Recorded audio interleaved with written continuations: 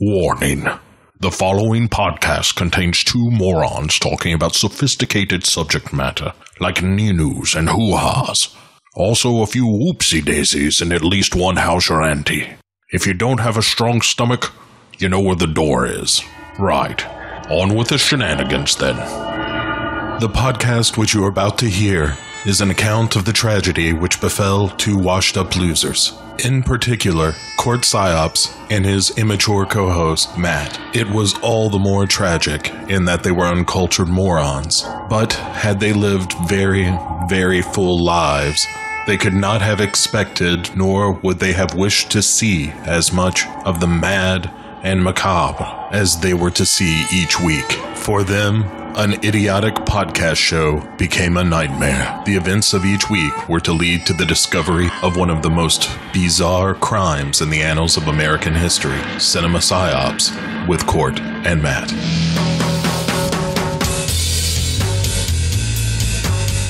What is PSYOP? PSYOPs for psychological operations is very simply the art of influencing how people feel and think and ultimately how they behave and what they do. You don't have to defeat the enemy on the battlefield. It's better if you can convince the enemy to do what you want him to do without having to fight. And that's really the intent behind PSYOPs, to convince people to do what you want them to do. So how does PSYOP fit into what's happening now? The two points I'd like to make with you and the audience is that first and foremost, PSYOP saves lives. The second thing I'd like to say, a lot of people have misconception about PSYOP. They think it's something devious and brainwashing.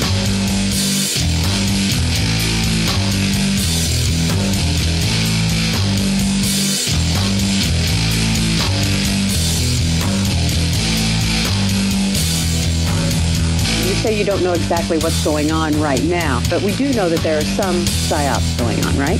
Ma'am, I don't know. Cinema psyops. And I believe with all of my heart that it is a contributing factor to our juvenile delinquency of today. Why I believe that is because I know how it feels. I know what it does to you.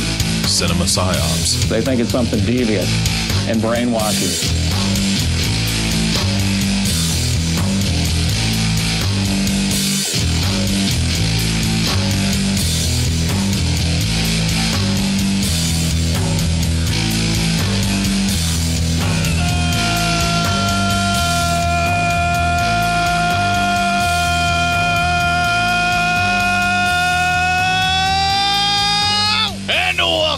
303rd consecutive week of Cinema Psyops. That is 303 consecutive weeks of two immature morons talking movies in your ears via the pod waves. I'm your host, Court, the guy that just can't fucking wait to get this movie review over with. And joining me live via Skype in a very similar grouchy fucking mood for his Memorial Day off is my co-host, Matt. What's up, you fucking mathlete? fucking this? Oh, Jesus. I mean, it all went down fucking hell, didn't it? Okay, so I'm watching this earlier today, and I'm Yeah. telling my wife, I can't believe I'm watching this. This fucking sucks. Like, I'm just like, I'm just really, really just belittling the film and just being like really, really fucking constant I mean, about it. And Yeah. Just, uh, like really, really kind of like immature. And she's like, okay, um, you have to do this review? N- no, you don't have to do the movie. Well, it's a full franchise fest, and you can't say full franchise if you don't do the full franchise. Almost had the same conversation verbatim. I, I even said, I told my wife while I was watching it, I go, I was coming up to get a drink, taking a break, and I go, I cannot believe a movie that has literally two Oscar winners in it is this bad.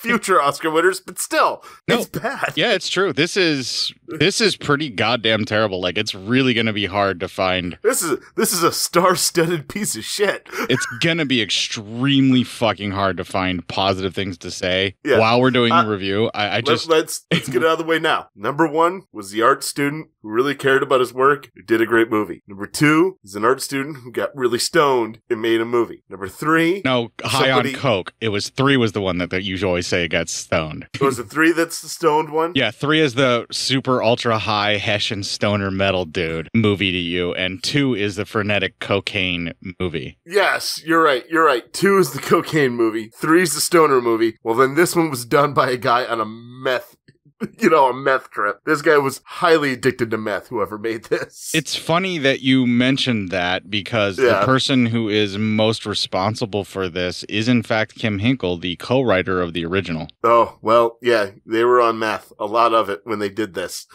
I mean, I don't know what stuff he may or may not have been taking, and I'm not exactly sure what influenced a lot of the decisions that went into this film. But like I talked a lot last week about a horse designed by committee. This is someone who needed someone to tell him Yeah, this was a no. bad decision in a lot of cases, and I'm sure it probably whatever studio may have fucked with it as well. But Yeah. you you can't go back and try to recapture lightning in a bottle No, by not like this. doing it exactly the same thing. This is, in my book, a much more miserable failure at trying to do a direct sequel to the original than part two was. Yeah, I agree. this was this is the worst so far of the bunch for me. Just not not not to let you know not to ruin it for anybody. Uh, this was the worst one out of all of them. I will have a few things that I will be able to like talk about and be like a Yeah. little upbeat about, but for the most part, like I will probably remain silent because not that I listen to her ever really, but um I did take one thing to heart whenever both my mother and my kindergarten teacher told me that if you don't have something nice to say, don't don't say anything at all. So while you're really, doing you you've actually listened to that because I've known you for a lot of years, and usually you just let that shit fly. Can't you just go back to trying to push your liver back in under the skin, you fucking alcoholic, for two seconds and let me fucking. Oh, oh, I just Ugh. proved your point, didn't I? Yeah, yeah, you really, you really did.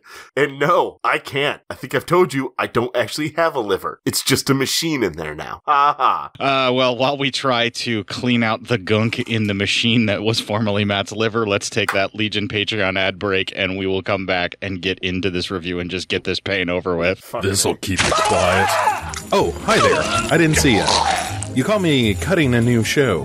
I'm Bo Ransdell, and I'm one of the many creators you can find on Legion Podcasts. I said quiet! My fellow podcasters and I work hard to bring you the best in horror podcasting, but that comes at a cost. Wouldst thou like to live deliciously? Not that, but also yes. No, what I'm getting at is that there are server costs, costs for good microphones and software for editing, all the things that make our shows, you know, fun to listen to. And you can help.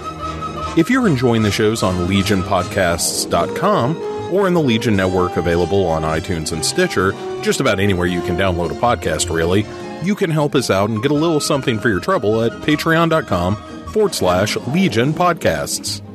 For just two bucks a month, you get a pair of movie commentaries exclusive to Patreon, and for five dollars, you can also join us for a monthly screening of a movie. All of that available on patreon.com forward slash Legion Podcasts. We appreciate it, and thank you for listening. Now, back to the cutting room.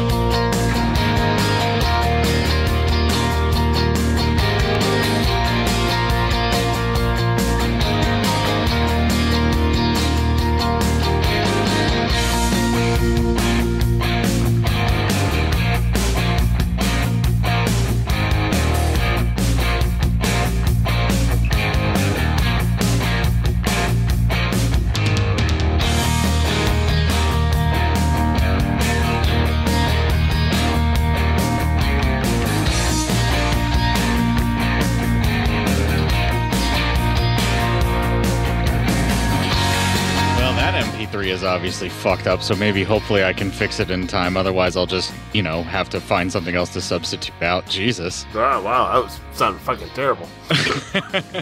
it's a neat enough song and everything, but the particular Yeah. MP3 I was playing for us was jumping around really, really badly, and um, that's that's shameful, almost as shameful as this fucking trailer. Each of us has known the fear of being alone, lost in the darkness, faced with the unknown. But there is one fear shrouded in our past, lost in our subconscious, that should never have been forgotten. A fear so deep, it cuts to the bone. The American legend returns to bring you back to the cutting edge of terror. Welcome to my world.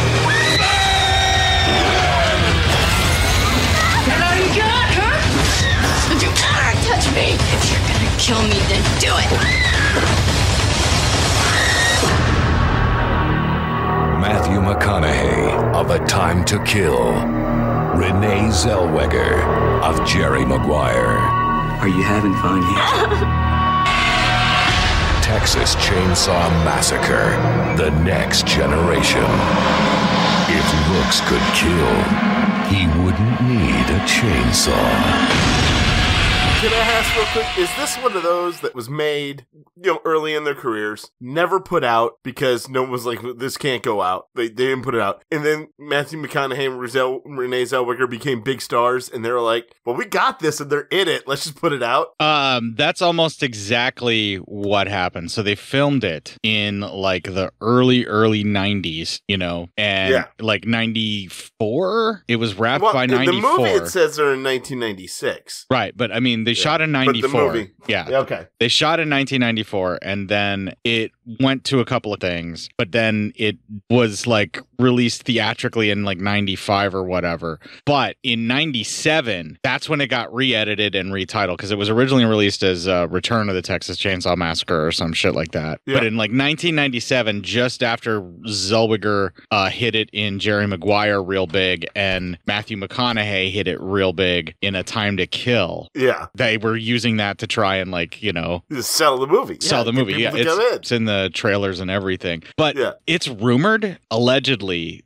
that there was pushback from both Renee Zellweger and Matthew McConaughey's like producers and agents and things. Like they were pushing back against like getting this movie released. They were trying to stop it. The producers agreed to that, and then they were trying to keep them from releasing the film theatrically. Yeah. And you know that like there was this big Because it wasn't like they were going to go on like a press tour for it at all. no, but like they were trying to bury it and Just bury it. apparently, Wow. yeah, I mean, allegedly they were trying to for them. You know, everyone's done a bad movie. yeah, well, allegedly they were trying so hard to bury it and make it just go away, like the where it couldn't even be released theatrically, which uh, Kim Henkel had obviously issues with the guy who wrote and directed this film, and then the studio themselves are going to have some complications with that as well. But Yeah. uh, I don't know if it ever got a full fledged theatrical release in '97 again or not. That I have no fucking clue about. I just know that it took forever for it to be released, and then when uh, Shout Factory tried to do, to do the Blu-ray ages ago, fucking McConaughey and Zellweger were trying to bury that too. Apparently, Jesus, allegedly. Hilarious. I mean, they left. I mean, they've. I mean, they've both had some crappy ass movies, so I don't know why this one's the bothersome one for him. But all right. I mean, Yeah, I have no. I mean, it's a clue. bad movie, but it's not like they're like fucking all out, like you know, nude or some shit. You know, like that. I you understand some like Hollywood stars trying to get rid of. Right. What? Whatever. We're about to talk about exactly why they would not want this film out there. All right. Wow. Texas Chainsaw Massacre, the next generation. Uh, also on the 90s, next generation. Just probably, probably piggyback of Star Trek, the next generation. Our boy Ken from Rhode Island said that he prefers Texas Chainsaw Massacre colon Voyager. Voyager. oh, I thought maybe he'd been more of a Deep Space Nine type of guy. So anyway, Yeah, Texas Chainsaw Massacre Deep Space Nine sure is really mm. weird and out there. it's out there, but man, I really like the political feel it gives. Yeah, the Ferengi actually would fit in quite well with any of the Sawyers slash mm. Slaughters or whatever the fuck the name of that like- family's supposed to be. They'd be like, I don't, I don't know what you're doing with whatever any of these shipments are, but here's to give me the money. Leather goods, you say? Interesting. Yeah, interesting. All right. Um, all right. So, um, well, we start out, and hey, they have a little narration story, so of course it's our first clip. Might as well be. August 18th, 1973. News of a bizarre chainsaw wielding family. Reports which were to ignite the world's imagination began to filter out of central Texas. Regrettably, not one of the family members was ever apprehended, and for more than 10 years, nothing further was heard. Then, over the next several years, at least two minor yet apparently related incidents were reported. Then again, nothing. For five long years, silence. Okay, so they're trying to discount both two and three as these minor incidents that, you know, were apparently related. Yeah. And set this up that this is the only true sequel. This is goddamn Godzilla syndrome. Like there's like a Yeah. there's like an entire like one of the eras of Godzilla where it's literally like the only movie they accept is the original Godzilla and every movie is a direct sequel to the original 1954 Godzilla. and that's what they're trying to do with TCM in this series. Like part 2 is like yeah that happened but now let's move on. And then part 3 is like yeah that happened but let's move on. No no there was no in between. And now part Yeah, 4 is like yeah that happened that happened and that happened but let's move on. Those didn't exist. Those are minor incidents. yeah, we nothing, none of that happened. Nothing, nothing real. It's nothing's happened. So anyway, we see it's May twenty second, nineteen ninety six, and we see Renee Zellweger. She's clearly getting ready for prom, and there's a bunch of weird, you know, character. Th- th- nothing that matters to the story at all is happening until well, at the prom, her friend Heather finds her boyfriend Barry making out with another girl. She gets in Barry's dad's car and drives away, and Barry's able to come in, you know, hop in, and Barry is what we would like to averagely call, uh, affectionately call a trumper, because he's definitely would be a trumper, the way he acts in this movie. Um, he blames her, uh, the reason he was making out with another chick, blames her because she won't give him any sex, and then states that if guys don't get any sex, they get prostate cancer. He should know his dad is a uh, doctor. As he's like going off on her like that, all of a sudden Renee Zellweger and her her, her friend Sean pop up, her date Sean, out of the back seat. And she's like, "Well, he's lying." And they get somewhat into a fender bender, and Heather just drives away. And Heather and uh, Renee Zellweger's like, "He's lying. That's none of that's true. That's horseshit." And then he goes off on her, calling her a stupid bitch, and says, "You know, you, you just because you're an ugly." And I mean, he's just just a really fucking shit human being. Like it's really bad. I want to play devil's advocate so that we have something to talk about here, but I am just going to point out that I wanted to do it, and that will be the thing that I talk about and stop here. Yeah, all right, there you go. Because he is a piece of shit. And as they're all talking, and he's like, Yeah, you and Sean, like, they're not even dating, they're just friends. And he goes, Oh, and then you can tell they were smoking weed in the back, so now he's really more pissed.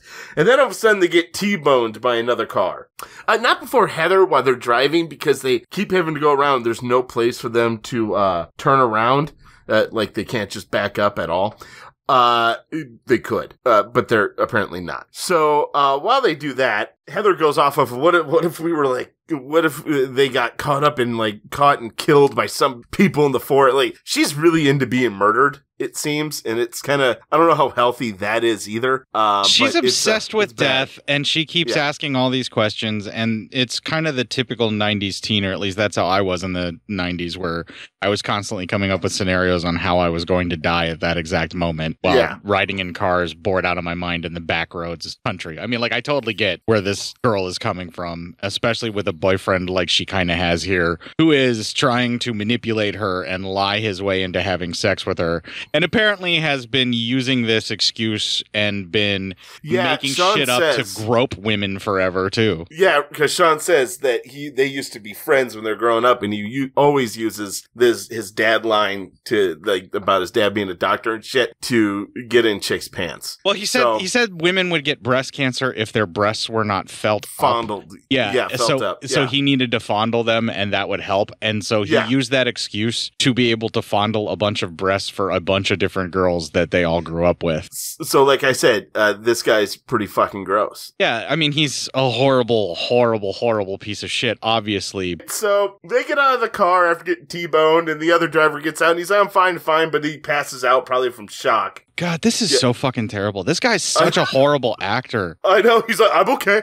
I'm okay, and then he like doesn't even fall really well. It's like he lays down on purpose. I thought this guy was always part of it. I Yeah, honestly, no. I honestly did. Yeah, like, I thought so that's too how fucking bad this movie is. He is such Yeah. a terrible actor. He sounds like he's working some kind of bad con. Yeah, yeah, right. God, this. Sorry, sorry. Go uh, ahead. You're right. You're right. I'm fine. I Go get ahead. it. So Renee Zellweger, Barry, and Heather they go for help, and Sean's gonna stay behind with the guy to make sure you know he's okay. Uh, well, they find a woman named Darla in her office, and they get in, and sh they let her know what happened. So she calls her boyfriend Vilmer, who's a tow truck driver, and then she's like kind of talking. She's almost being very flirty with Renee Zellweger, and then Uh, somebody. she's getting downright aggressive with the touching and fondling of some of these underaged kids. For fuck's sakes. Yeah, it's mostly centered on Renee Zellweger. And then a baseball kind of comes flying through the window. And she goes, ah, it's just probably, you know, either a farmer's wife. And she goes, like I'd ever, like I'd be interested. And she flashes her boobs. So I guess, thanks, movie. Uh, yeah, And, she uh, gives two different things because right after she's done flashing her boobs, she says that a bunch of teenage boys will do that Then- just to get yeah, you. well, she said, or it could be teenage boys just trying to get a glimpse.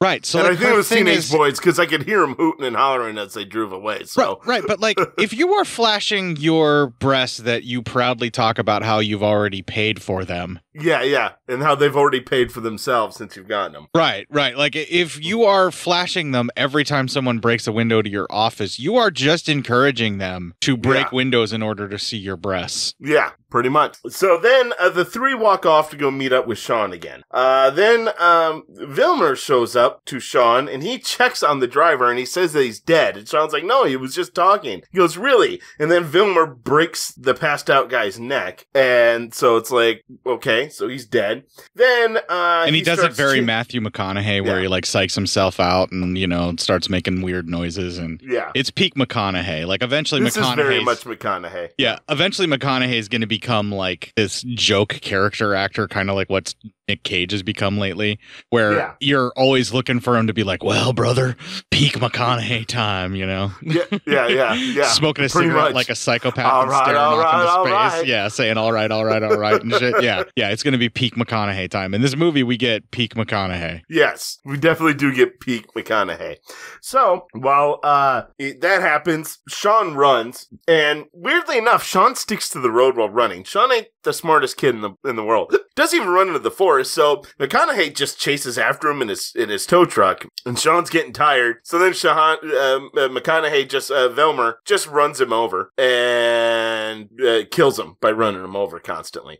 He never even tried to leave the road. It's it seems weird if you're getting chased by a car in the forest, dip into the forest because they at least can't use the car to chase you, where you're expounding all your energy and they don't have to. Also, uh, he runs over him like nine or ten times, Yeah. and until he finally says, "Yeah, now he's definitely dead." Yep. And then one he continues to This one ought to do it. yeah, and then he just continues to back over him and run over him like several more times. I'm like, when you see the what's supposed to be the dude's body later after this egregious death, you you would think that perhaps it would be a lot more flattened and gross and bloody, but it looks an awful lot like he just died of natural causes from the fear of almost being run over. Yeah, it, it does definitely seem like that when you finally see him. But all right, then whatever. I don't know where their budget went if they had one. I just Um, think everything was poorly planned and executed, Matt. That's Yeah. my, that's my thought. Yeah, I agree. Um, so, uh, so the three are walking back, and then they see a truck driving around, and it turns down a road. Barry and Heather go chasing that truck, and um, uh, Renee Zellweger says she's going to go get Sean, and she leaves, and that ends the first twenty minutes of the movie. It also ends my ability to watch the movie. Um, I'm gonna, okay, I'm gonna let you know. We just went through the first 20 minutes of the movie, our introduction, everything, all the pablum we do at the beginning. We're only 31 minutes into our episode right now. yeah, I know. Yeah, we're we're gonna Uh, move it- through this it- a lot quicker than that, actually. Um, Yeah. I just wanted to flat out state that the first 20 minutes of the film that we have, the way that it's set up and the way that they're trying to deliver stuff, this is bad for even a fourth installment in a franchise that has rapidly declined. And for an attempt to reboot the franchise as a sequel, doing a reboot quill, if you will, and trying Yeah. to expand the universe and all the things that they tried to do with this, they set it all up very poorly. The scope with which they try to develop the influence of the family and the things that the family from the Texas Chainsaw Massacres are involved in, they do not give enough weight or credence to that to make it believable in any way, and yet are still trying to ram it down your throat that that is in fact what is happening Yeah.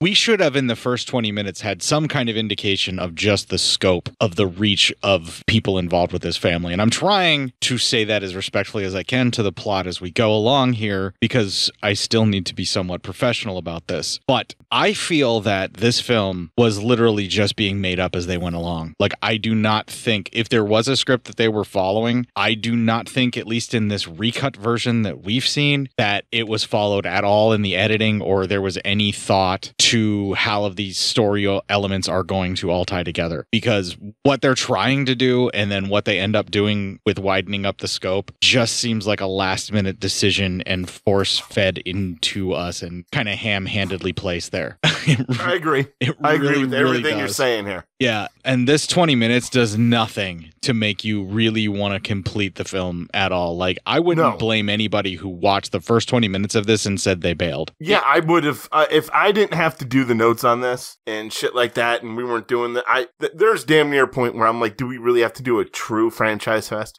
Really? I mean, because right, yeah, this thing this thing is hard to watch just because it's hard to watch, and not because you know not because oh my god I'm so disturbed or this or that. It's hard to watch because it's just bad. It- it- there's just nothing really redeeming in that first twenty minutes. Yeah, it feels very much like the much later Hellraiser franchise films where they literally just took a different script for a completely different movie and shoehorned Pinhead in there and called it a Hellraiser flick because they knew that would sell that script better. Oof. Uh, this very much feels like a side-loaded tale of a giant organization that they tried to tie in with the Texas Chainsaw Massacre just because they knew it would sell this script. And so I think it was like an original script for something else that got retooled, probably by Henkel, because that's the only thing that people know him for or care about whenever he was trying to get the money, maybe. And so he just went with Texas Chainsaw because it was an easy way to get the movie he wanted to make done. And I think this is it. I don't know because it sure seems like he would be super disappointed in how this turned out. Like if this was his intention, I I, I hope that he maybe wanted more than what this turned out to be because this is awful. Yeah, I mean, I just can't this first see twenty how minutes. this is. Yeah,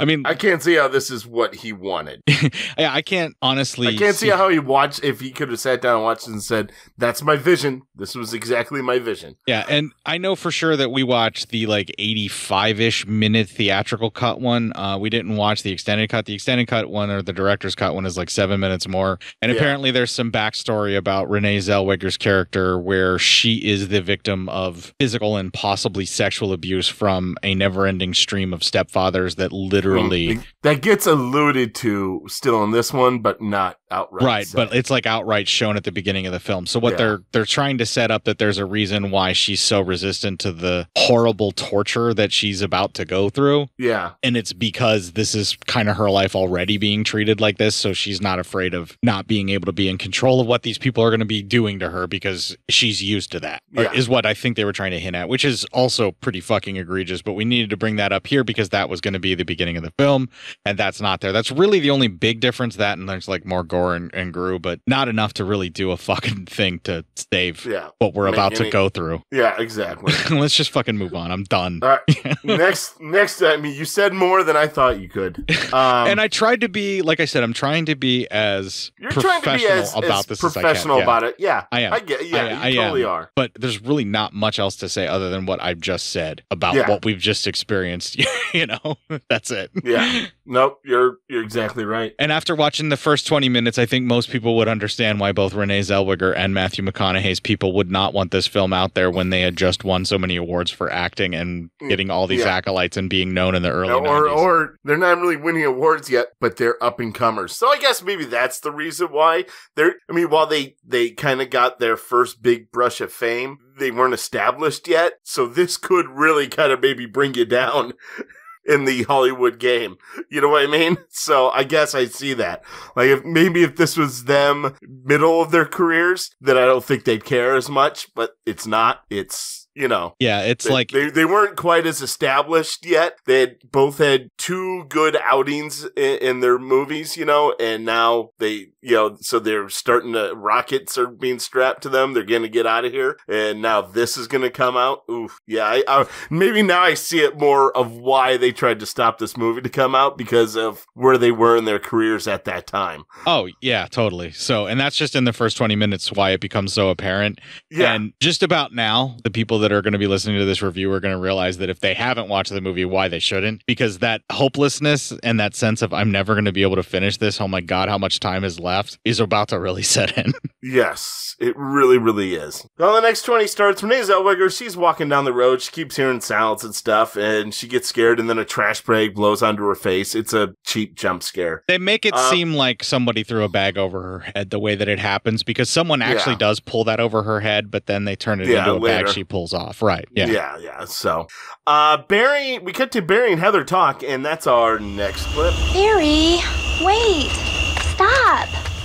What if they're murderers and they want us to follow them so they can hide behind trees and stab us? There could be dead people buried all around us and we never know.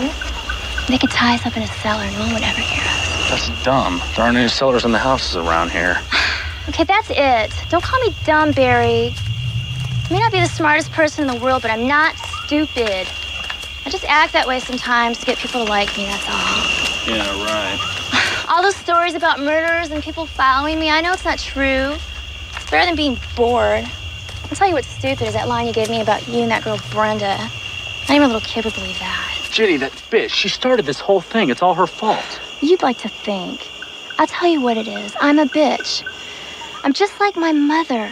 She can't stand my father. But she stays with him because she wants a certain kind of life. I don't, I don't care what anybody thinks. It's still the best way to get it. What's wrong with that? Forget it. Okay, fine, but you should have said something. It pisses me off that you let me go on like this. It's embarrassing. I told you I'm a bitch. If I wasn't such a chicken, I'd be more like Jenny. No, you wouldn't. You're probably right. She's a dog. Oh, huh, you just don't know. What? Everyone thinks she's such a wuss, right? Right? Her mother gets married every 15 minutes, and her husbands are always hitting on her. That's why she's the way she is. But I've had PE with her. She's got a body to die for. Really? Gross. That guy like gets interested Yeah. at that The only moment. thing that now, the only time he's interested is because, yeah, she's got a body. to die for, Oh. apparently. To die, yeah. Oh, fucking, I hate everyone. Um, I hate people. So, uh, then, uh, we see, we cut back to Renee Zellweger, and, uh, she's back to the scene of the car crash, but the cars are gone, and the only thing she can find is one hubcap. Then, uh, we cut back to Barry and Heather, and they come to the house, and they're kind of looking around. She's sitting down, and he goes around in the front, and he goes around back. He gets held at gunpoint by another man, uh, who has all these quotes, and, you know, that's all he speaks in is pretty much quotes. Um, we cut back to Heather, and Leatherface is behind her, kind of messing with her hair, but she's not really noticing it. And then he walks away a little too much, and he knocks over a broom that lands, scares her. She runs, he chases, he grabs her, drags her into the house, throws her in a freezer, and then puts something on top of it. She keeps opening up the freezer. The guy holding Barry by gunpoint sends Barry into the house, and right before Barry goes in the house, he goes, "Hey, this is kidnapping. I should know. My dad's a lawyer." So, uh, I, I, is it? It's probably not even true. His dad's probably not even a fucking doctor at this point. Dad's probably just some fucking shyster businessman. No, it's like Tress MacNeille's uh, crazy cat lady character from The Simpsons, who was both a doctor and a lawyer, Oh yeah, yeah. and then went nuts from the stress and started hurling cats at people because she just had a bunch of cats. That's that's right. Yeah, there you go. Uh, so anyway, uh, he goes through the house and he takes a piss because he has to take a piss. And he finds the toilet. Then he starts bragging. He starts yelling out for Heather. He goes, "Hey Heather, I tricked this guy into letting me in the house, and I locked him out like he did anything, you know." So he's bragging. Then Leatherface shows up and smacks him right in the head with a hammer. He goes down. Then he pulls Heather. Leatherface pulls Heather out of the freezer and hooks her. So all right, I guess. Yeah. I, I mean, it's kind of lackluster.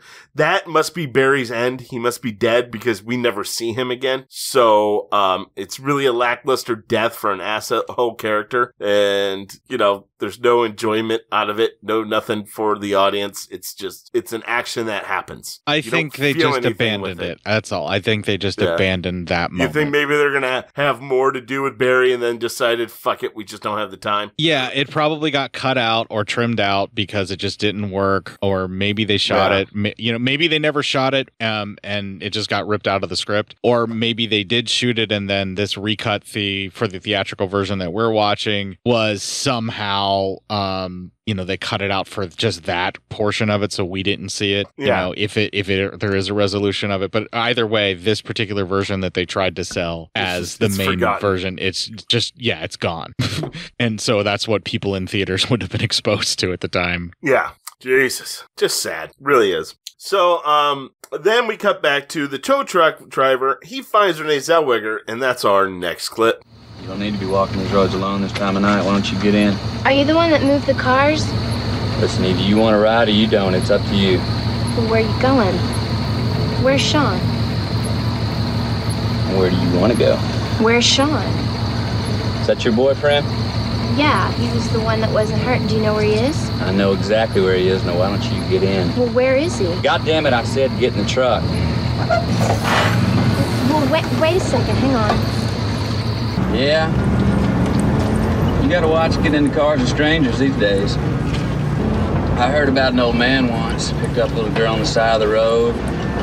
chopped both her arms off and stuffed her in the culvert. Left her for dead. God, I fucking hate that. I mean, that sorry son of a bitch didn't have shit for an imagination. How fucking simple can you get? Stop. You're scaring me. Scaring you? You're not scared. You don't know shit about being scared, little girl. Not yet. You want scared? You want scared? Have a look behind you. Have a look. Yeah, how about that, huh? Look again, goddammit. Go ahead, look again. I think I want you to stop and let me out. You think? Or do you know? Huh? Go ahead and have a look. You better look. No. No, you don't want to look. No, no. What's your goddamn problem? Okay. If you stop, I'll look. You want it to stop. Stop it! Ow! Ow! Get have a look at that. Ow! Have a look at that. Ow! Look at that. How about that? Stop! Who's that? Who's that?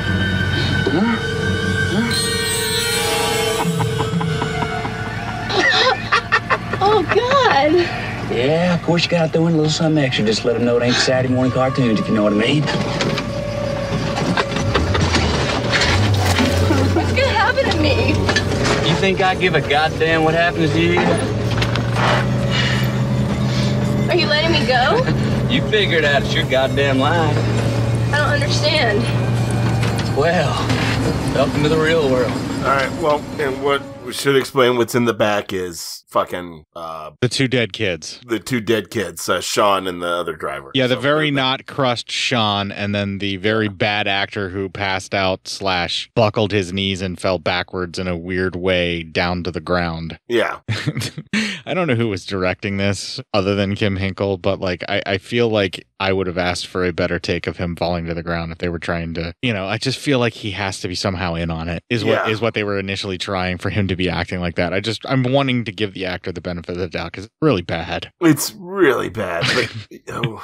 Yeah, okay, I'm, I'm fixating again. I got to stop. I'm going to just pull back and stop. Oh, yeah, it's all bad. It's all, it's all just bad. So, um, see here. All right. So, uh, she then bolts out of the car, and unlike Sean, she's very smart. She runs into the woods. He, McConaughey flashes light in there. He goes, Oh, you don't want? Okay, this is your choice. Life's all about choices. And he leaves. Or after that, we see why. It's Leatherface. And we have a pretty extended chase here through the forest between uh, Renee Zellweger and Leatherface. The, there's a lot of chasing. Um, it's quite runs- padded, yes. Yeah, it's quite padded. They find she finds a house, she gets in there, and then there's this sheriff who looks dead. He's blue, but he's standing. But she grabs his gun. Inexplicably, she does never checks the gun to see if it's loaded. She tries to shoot at Leatherface, who busts open the door. Nothing happens, uh, because the gun's not loaded. So she hops through the window. Uh, he goes out after her. She's able to crawl up into a line. He cuts the line,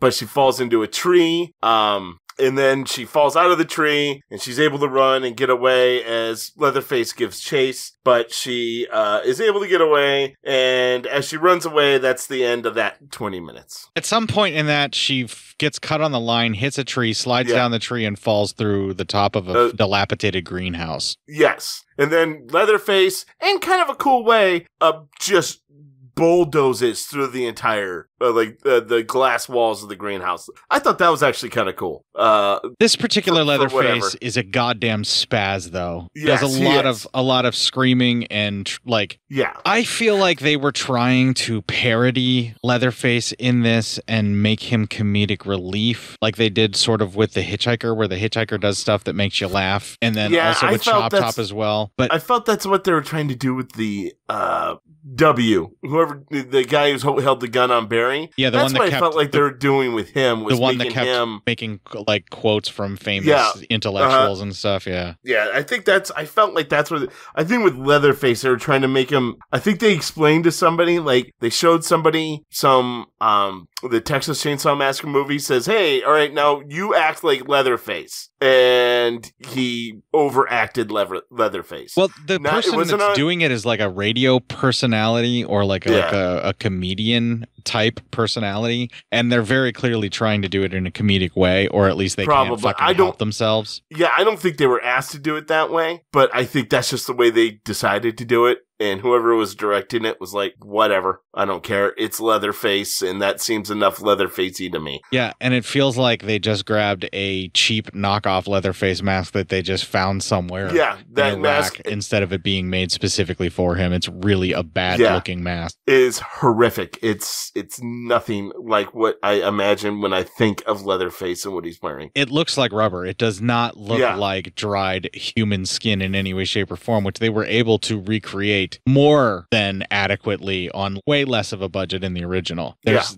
something about everything in this just feels artificial and just really kind of cheap, rubbery done. Uh, Yeah. I will say, at least before we move on to the next 20 minutes here, the very last bit that I, I've noticed that I really enjoyed the set design for their house, the way their house was decorated up, how fucked up and um like the wallpaper, how filthy it was, how every like there was set pieces with like a corpse decomposing in one of the bathtubs just because. Um, and then the way that the stuff was set up with the newspapers piled everywhere, like they're you know hoarders or whatever, and there's rooms that are just stuffed to the gills that make these narrow, weird shaped corridors and things like that. I felt that stuff was really well thought out and well planned, and I really liked the way that that looked. And the whole time that you're inside the house, you do have that uh, trapped underground corridors feeling that you get from part two a little bit with that.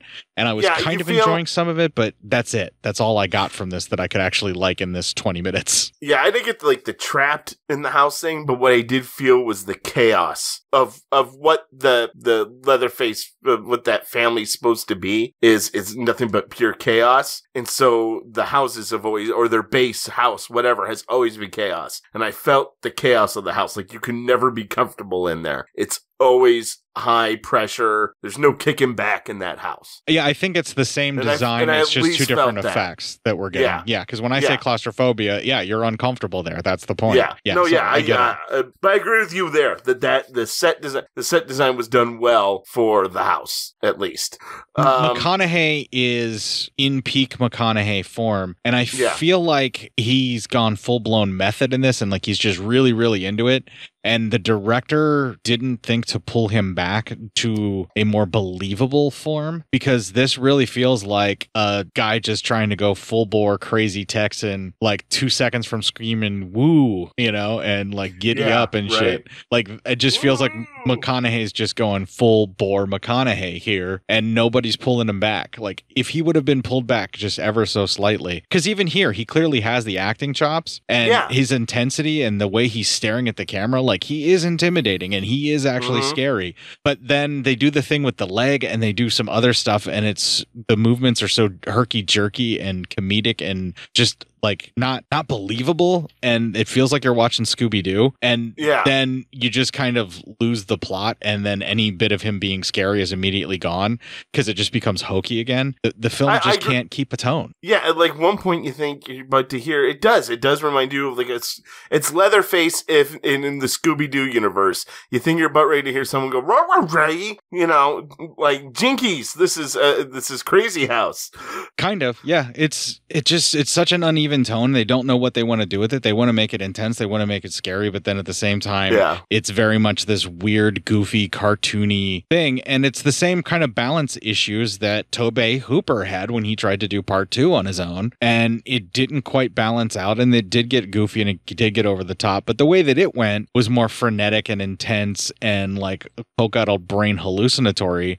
Whereas this feels like a bunch of comedians trying to make a scary movie and failing miserably at it because they can't stop trying to make it funny. Yeah, I, I guess I can see that. Yeah, definitely. Yeah, uh, it's just it's extremely frustrating, and the second twenty minutes like really sets in the fucking despair, and then we're almost to the the full end of this because it's like just but it's like eighty ish minutes, so we're almost there. We're over halfway at this point, and it's just it just doesn't get any better. Yeah. right? like that's it. It's, it's all just sharply downhill from here. Yeah, it never it never even gets average, you know? Like, uh, it's all right. It never even gets to all right. Yeah. It, gets to I'm looking at the sets because I'm so bored with everything else, and I'm trying to see all the detail that they tried to put together in the movie just for my own, you know, benefact, just to try and find something to talk about because I literally could find nothing other than the fact that I was really thoroughly not enjoying any of this, and it's really badly put together in my mind. Well, and even like the the sets, like the house made no sense for a Leatherface house. It- it's supposed to be all body parts and shit, and Oh, they're totally not cannibals in this in any way, shape, or form. No, Because there's there's no, no- way he would have kept backing over that meat. That's not tenderizing. Yeah, that's right. That's contaminating it with all sorts of particles and all glass and shit. And he's not that They- masochistic. they drop the cannibalism part of this altogether. No, It's- this is a proto not about- torture porn kind of thing, Yeah, is what they pretty they much, created yeah. here. Yeah. Yeah, exactly. Well, and start out the next 20 minutes, she runs to that Darla's office. Well, Darla calls someone named W, and we find out that's the guy with the gun. And uh, he shows up and he starts zapping Renee Zellweger with like a cattle prod, and then starts beating her with it. And uh, Darla's trying to tell her just to, you know, put the sack over her and throw in the trunk. She does, and, which he does while he still beats and still sadistically uh, zaps her. Then Darla takes off and she says she's going to go pick up some pizzas with Renee Zellweger in the trunk. Then we get this almost for no reason scene of her picking up the pizzas. Um, you know, Renee Zellweger making noise. The the kid working there almost goes to check on it, but doesn't. Then uh uh Darla goes, opens up the trunk, tells her to shut up, and makes an air hole for her, and uh, tells her she has to be quiet right before the cops show up and wonder what's in the trunk. But Darla just winks at him, and he gets all flustered and walks away. Whatever. It's it's a weird scene. I don't know what it's there for. It has serves no purpose. Uh, There were just- reshoots on this, so this may be Yeah. something that producers shoved in just to try and add additional titillation or tension or just it- it fill did- time. Yeah, It's maybe like oh they almost got caught. Maybe she's almost saved. I, I guess I can see that. But you could execute a delete on all of this footage of her going to pick up the pizzas and just have her yeah, and it would would do. You wouldn't miss anything in the story. No, not at all. And it would make the film like at least five minutes shorter, which would Yeah. lower the running time and make it that much more enjoyable for all of us wishing it was over. Yeah, exactly.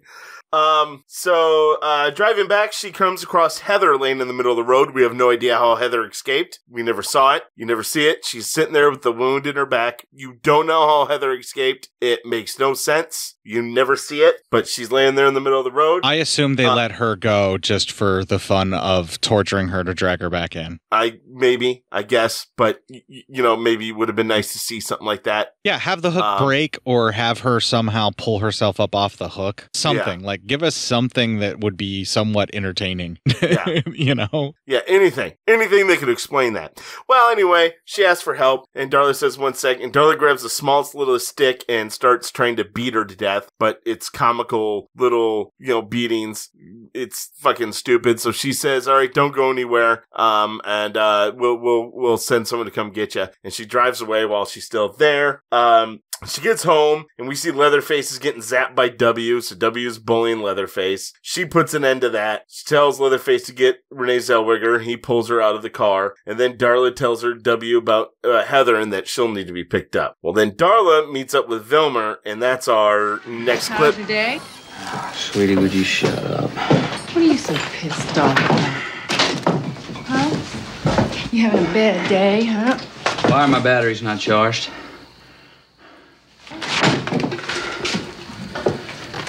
Tell you? That son of a bitch, I tell you what, I told him to let you know that I was on my way for pizzas on the way home, and he didn't tell you, and I'm sick of it.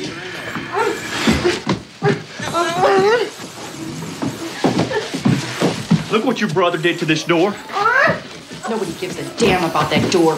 Hey, mister, I have had it with you. I'm so sick and tired of you trying to stir up trouble between me and Vilmer. You're the one causing problems. Ever since you We're got happy here, been nothing but here. trouble. Nobody gives a goddamn I'm the one about that puts things door. together Nobody here. cares. It was fine You're before you arguing come. You sit along, you big Shut up. fat. Oh my god.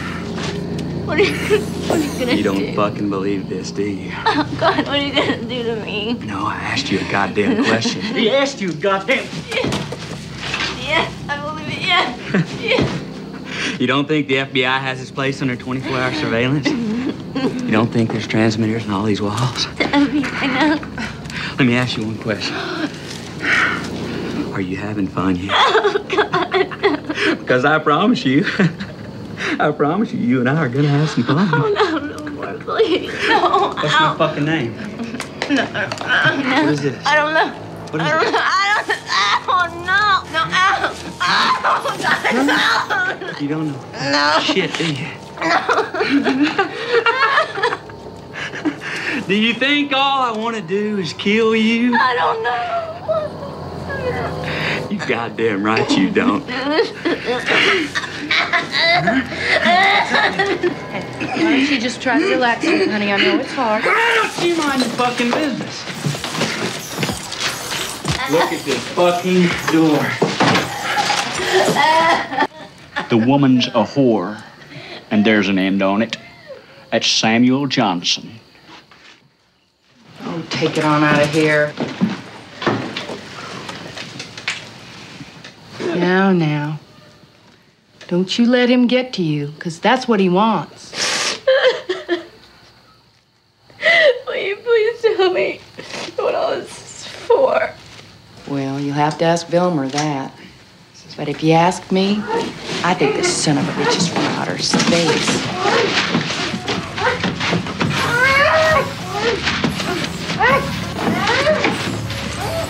Oh God, what are you gonna do? No? What are you gonna do? Ah! Don't hurt her. Give her a kiss. How could I hurt a pretty face like this? but then, I am in the mood for love. There now. How's that? Feel better? Look at you. You're really pretty. You know what?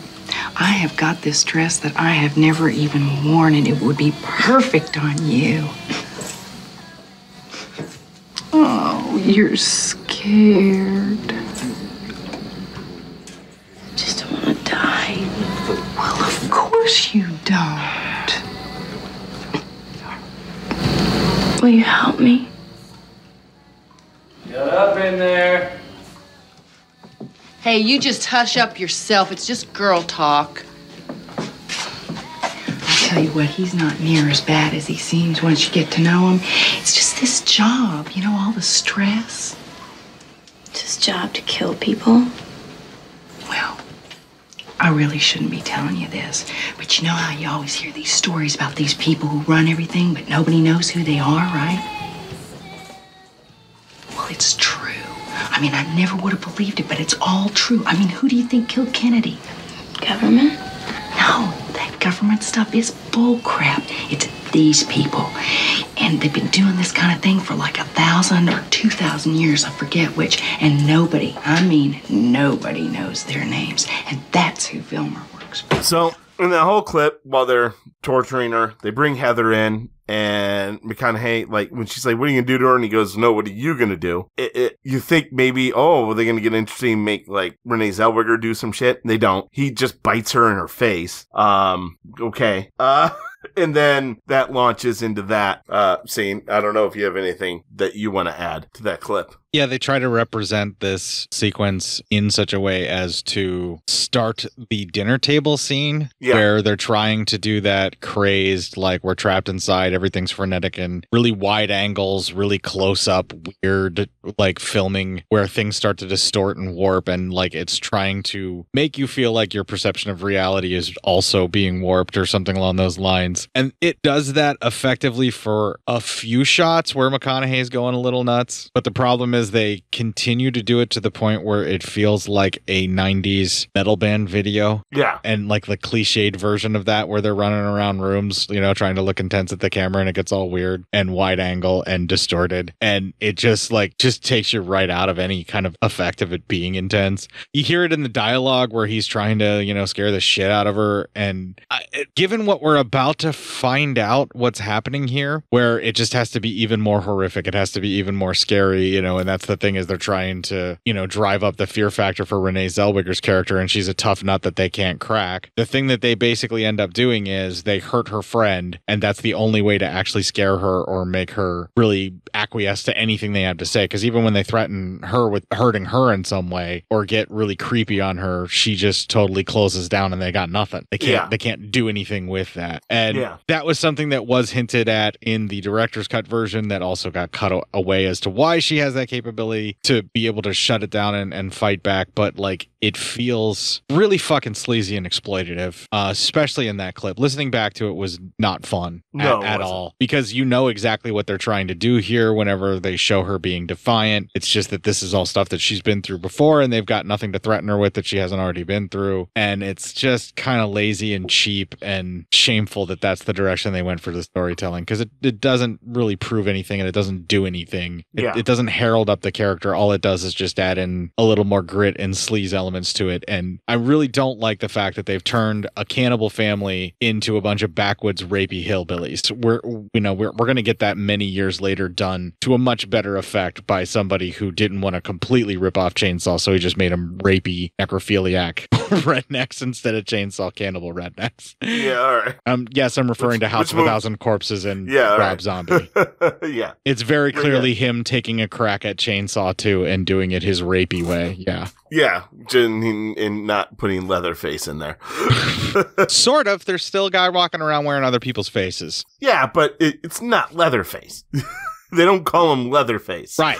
Right. Um, that's basically what this is going with. Uh, the last film kind of hinted at it too, and I think it's just that's where things were going. Uh, pretty much, you know, when serial killer uh, horror became like, you know, they were trying to do psychological quote unquote thrillers like Seven and things like that, which are horror films that they didn't want to Yeah. call horror films. There was a lot more of these like really dark, twisted sexual themes sort of being driven into horror at the time, and I feel like the '93 ish whatever shit fest, you know, Texas Chainsaw 3 that we just watched and the way the family got rapey towards the people they were actually going to eat as well, you know? Like the reason that got shoved in there and the reason that the, the family in this movie are acting the way that they are is because it's in the zeitgeist of that's what horror has to be and that's what horror is selling, so let's do it. Yeah. Um, and they, I, I know Kim Henkel says something about being more influenced in Leatherface and going back to the original thing with Ed Gein and some of the decisions that they make uh, with what's about to happen with Leatherface.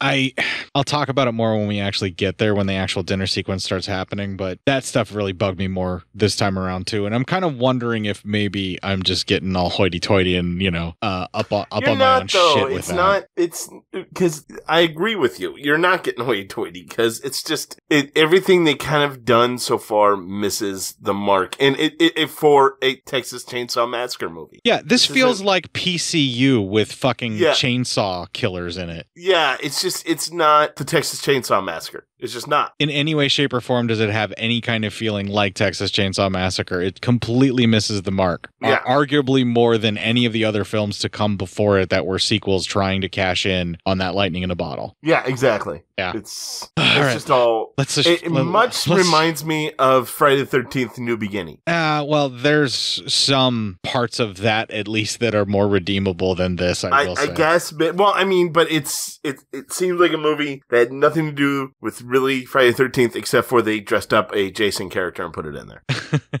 I get I get your reference there. Let's just Yeah, okay. let's just finish this Uh, off. I'm, done- I'm done All right. bitching about this. Jesus. So, all right. Vilmer walks in, throws Darla out. Um, he threatens to slit Renee Zellweger's throat, but she says she's counting. She goes, "You don't because you want me alive for some reason." And he's like, "Yeah, I do. You're really smart. You're a smart person." So, um, Vilmer then goes in back into the kitchen, starts slapping Darla around. Then she says, "You're embarrassing me in front of guests." And she starts beating him with a shoe. Uh, at this point, Renee Zellweger's able to get a shotgun, and she threatens all of them. They all start getting down except for Vilmer, who's like he's not afraid. He freaks up and starts fucking up Darla more, like choking her. And Renee's trying to tell her friend to get up, but her friend can't really wake up at all. Um, so then Renee Zellweger decides she's going to shoot Vilmer. She tries, and the barrel she tries is empty. He grabs it and he shoots it up into the air. The other barrel was loaded, but she's able to run away from him and uh, gets into uh, uh, a car, uh, Darla's car and drives away. But he, Matthew McConaughey, stops on the uh, hood. He falls off the hood, but he unlatched something, so the hood dro- pops up. She can't see, and she wrecks, and it knocks her out. And that leads into our final 20 minutes. Let's just get it over with. Uh, real Um, quick, just oh, wanted to, yeah,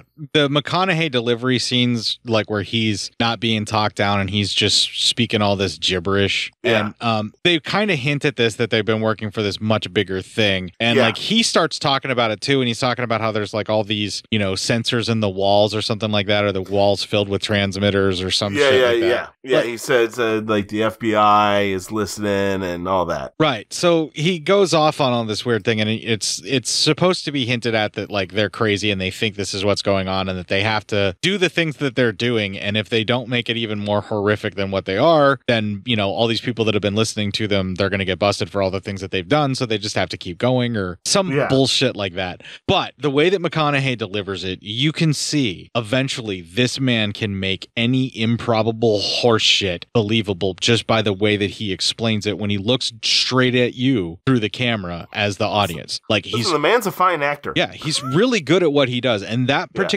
moment, I mean, if you're going to brave this film and you made it that far, you get yourself a little treat here because you see the greatness that McConaughey's about to achieve and the way that Zellweger's playing off of him, you can see that she's got some passion and she's got some fire and she actually has the ability to hold her own with another actor. And all of their interactions in this are actually rather pleasant to watch, even though it's the same tired bullshit dialogue we've heard a million times in any kind of horror movie that is ripped off the Texas Chainsaw Massacre before this one did it as ineffectually as it has. They get to this point, and there's like this little kind of a moment where you see what could have been in this film with those two acting off of each other. Yeah. And then they do more shit with the remote on the leg and the leg starts falling apart. And then you realize that he's got like a back of a Hoover vacuum cleaner thing duct taped to his ass. And somehow that powers his leg with all the batteries on his belt. And Yeah, I was I wanted to say he has a bum leg and it's and but he has a robotic thing around it, not just a brace, but uh, like uh, almost a robotic thing. that he has to use a remote control to fire for it to like Yeah. straighten and then pull up for some reason. Yes, But any yes. remote will do it. So people keep using remotes to paralyze him. Yeah, I was gonna mention that here that that we- we see that coming up later. Yeah. But yeah. Okay. Yeah. But anyway, there are moments in there that actually are good, but it's also completely undercut by every decision that is doing this wacky shit like that. And Yeah. it ruins any kind of tension. Like, and I. I wonder and I suspect that if this Illuminati thing that they're setting up here and then we find out later on is like more of a story point than what they really hinted at earlier, if all of this is supposed to be true, then the fact of the matter is he really is trying to do all of this to um you know entertain people and the transmitters and all the people that are supposedly listening and all of that stuff are actually they're they're they're supposed to be entertaining people. Is that what it is for this weird secret or- society or because or well, the guy that uh, I'll get into that later. Apparently, why? no, this is but I, to I'm be s- happening. I'm not saying that's not well. We, it's not what is actually happening, but is that what he's trying to say is what he's doing? You know, like he's yes. being monitored to make sure that he's doing this the way that he's supposed to be doing it for someone else's benefactor and entertainment. Like that's what they're hinting at. Yeah, I think so. Uh, okay, they bring this in like pretty much 40 minutes already we're into the movie and they're like already bored with redneck zombie torture family from Yeah. from uh cabin in the woods now we're going to go from redneck zombie torture family to international conspiracy into the storm time Fucking something. I don't know. it's more like a fucking, uh, or or is it just a bunch of fucking crazy people who don't care about nothing? I. well I, I actually have done some research as to who it's supposed to represent so we're both right and we're both wrong okay. Well, I love it when that happens. Uh, let's just finish this piece of shit off now and then we'll talk about that because that's literally the only interesting thing that we have left All right. Well, um, the final 20 minutes, um, we see Leatherface getting all dressed up fancy like. He, uh, has now put on, I guess, be a she now. Uh, she has done herself up and is uh, in a dress and is, is in women's makeup in a different, like, face and apparatus completely. It's almost Um, like a 60s housewife lingerie house coat combination to titillate and yet still cover everything. Yeah. Is what uh, this version of Leatherface, who is presenting as female, so I would say she is wearing as well. Uh, this Yes. is the part I had a serious problem with. Um, this felt to me as they were trying to use Leatherface trans panic kind of thing as shock value. Not Oh, they definitely were. yeah, not not so much in that like, oh, this is an exploration of all of his different sexual, you know, proclivities, or maybe Leatherface has some kind of gender fluid uh, you know, representation of themselves and will become a she as well as a he whenever the the time fits or however they are feeling at that time. That's not what this is. This is literally let's piss off the fanboys who already wanted Leatherface to become, you know, the next Jason or Freddy, and let's get a trans panic moment out of everybody, and we'll have him not only dress up in someone else's skin, but the skin of her friend, and Yeah. trying to emulate that personality and act like her. And Oh, wait, that's not the skin of Renee Zellweger's friend, though. Renee Zellweger's friend is actually at dinner. I know, but you, you get what. I'm saying. Like, Yeah. it's it, it's just another exploitative element of what they're actually doing Yeah. with this Leatherface, where they decide to have a Leatherface, and it's it, it's kind of hinting at the whole like trans panic thing with what they're trying to do. They're trying to make Oh, you yeah. feel more freaked out because wow, this Leatherface is way more intense than any of the other ones. He dresses up like a she. And of course, that means he's extra fucked up and shit, right? Right. This is such fucking bullshit, and it's Yeah. really not aged well at all. No, not at all. Not even a little. I mean, they've. It's not that they haven't hinted at uh, Leatherface taking on different uh, personas depending upon what face that he may be wearing, because there is a very matronly grandmother character that shows up in the original, but it's not done in such a way as to panic you. Other, you know, with that kind of thing, it's not supposed to be uh, some kind of weird titillation thing or played off for it to be anything different than the mental illness of thinking you're a different person by wearing someone else's face. Yeah, That's exactly. That's all it is. But this one is very much more exploitative and wink, wink, nudge, nudge, and fuck that. I don't like it. No, you shouldn't. It's fucking horseshit. All right, good. I'm glad that we line up on that, and I'm not overreacting. Oh yeah, you felt no, you're not too. overreacting at all. That's it's fucking gross. So yeah, and it's it is. It's a bad. It's bad juju. Yeah, Bad- it pretty much stuff. it pretty much pushes it to the point where it's like, yeah, I don't really know if I ever want to watch this again after this. Yeah, right. Um. So anyway, uh, Darla uh meets up with uh Vilmer, and she fucks up with one. She fucks around with one remote control, fucks up his leg. He's like, "Hey, that's awesome," and they start making out. Um, it was a weird ass scene to have just in there. They're trying to make it seem like they're into sadomasochism, and he likes Yeah. the fact that she can, you know, take his leg out from underneath him at any time, and then he gets angry and, then- aggressive, and, and they then- have violent sex. Yeah, and, he, and that she likes poking him a bit, you know, for as violent as he is, you know. yeah. She So, likes to Renee- send him over the edge, and it's just another one of those like little extra piece of titillation to be like, see how fucked up they are. They like BDSM. Yeah. well, then um, they slap her on Renee Zellweger to wake her up. She's at the dinner table. She's surrounded by Vilmer, Darla, um, Heather's uh, Heather's there. Um, W's there, Leatherface is there, and then we see a dead family of uh, mom, dad, and daughter, and at the head of the table, a dead-looking old man. Then we find out that Leatherface wants Renee Zellweger's face during some arguments, and they're all screaming. It's very chaotic. Uh, Vilmer hits W in the head with a hammer, uh, uh, looking like he kills him. Uh, the old guy gets up, grabs a knife, and just walks off. Um, who he looked like he was dead, but I guess he wasn't. But he just got up and walked away holding the knife. Uh, then nothing ever comes to that. Renee Zellweger then tells them all off. So it's like, you know, go fuck yourself. You know, uh, Leatherface starts to get up and she tells him to sit the fuck down or her to sit the fuck down. And she does. She kind of does what she's told. She kind of puts everyone in their place. And this fucking flips out. She's like, either kill me or not. But she goes, I'm kind of tired of listening to you. And this kind of flips McConaughey out and he leaves. And he comes back and he dumps ladder fluid, uh, ga- gasoline on uh, Heather, lights her on fire. Darla puts her out. Um, and then we see a limo pull up and some dude comes in and he tells Renee Zellweger everything's going to be fine, but to sit there. Uh, then he talks to Vilmer and said that these people need to know what true horror is. Then he opens up his shirt and he has this weird design in his stomach with three piercings. Then he starts licking uh, uh, Renee Zellweger's face before he leaves.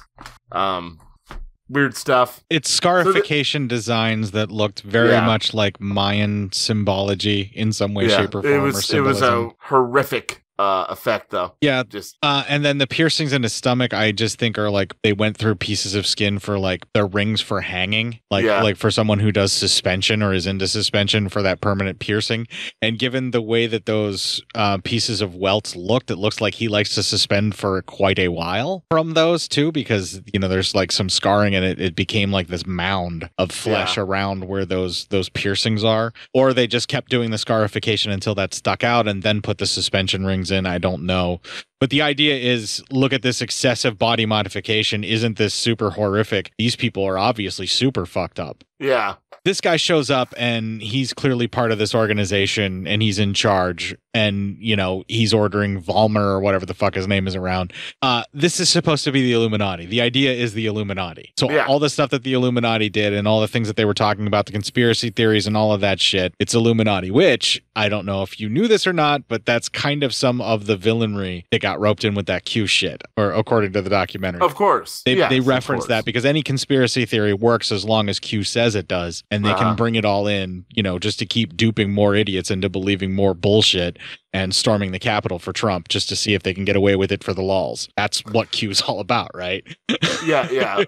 What Q did was they took a lot of different conspiracy theories that just were already there and had been there for decades and that were never politicized. It was just a bunch of conspiracy theorists having a good time, wondering what was going on. And then they took it for their own cause and made it extremely racist. So, um, thanks Q for ruining what was a hobby of mine of being a conspiracy theorist. Now I don't even really pay attention to that shit anymore because fuck it. And- but the only thing I do pay attention to is like UFOs and that kind of shit. And that's about it. And this is another one of those things that has been since ruined, but like at the time frame that this movie came out, it was something that was very popular where people were speculating the government was hiding this kind of shit and this the, sort the of government and the on. rich. Yeah, and like the bankers and all that. Yeah. And they've, you know, they've told, listen, I used to have great times if I was doing nothing on a weekend night and I was up till three in the morning going down the rabbit hole on the internet. And all that fun left once Trump and his fucking cohorts came in because then you can't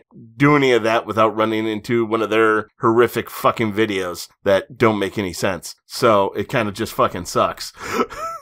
Right, but I'm saying at the time this was something that was really Yeah, at the time, popular is- in the zeitgeist. I mean, this is this is X Files time, so these big Yeah. conspiracies are a thing that people are just working in, and it feels very much like by the time it actually shows up here, shoehorned in. I mean, we're almost at the end of this movie, and the Yeah. guy finally shows up, and it turns out all along the Texas Chainsaw Massacre family has been working for an amalgamation of Illuminati type conspiracy, you know, organizations. Yeah, apparently. Wow. Yeah, exactly. Oh, okay.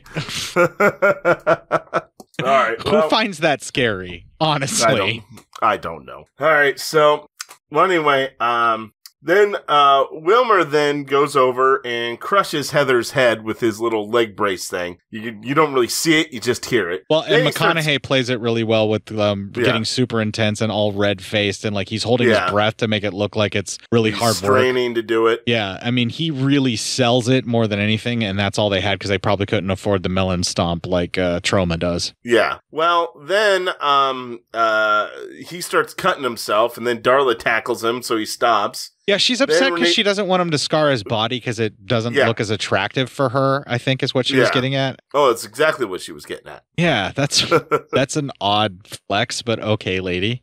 Yeah. So then Renee Zellweger, uh, she tries to get away, but he is able to get her and pick her back up. They fight. She's able to get a remote. They fight with her leg, so his leg keeps going, going, Oh, she's this able to get so away. bad. Oh, it was really bad. Yeah, that fight was terrible. She gets away and they're they're chasing her and she's able to get into a RV that's driving by and they're you think she's getting away. Then the RV gets T-boned by the tow truck and and and and uh, McConaughey and she gets out of the RV and runs away. And then this plane's flying around, and the plane dips down, and the plane kills Vilmer, uh, McConaughey, while he's running to get her. At this point, that makes Leatherface just start freaking out constantly. Uh, and a limo picks up Renee Zellweger, uh, and it's that dude from before. And the, the suit dude with the piercings. And that leads to our final clip. Oh, no, no, no.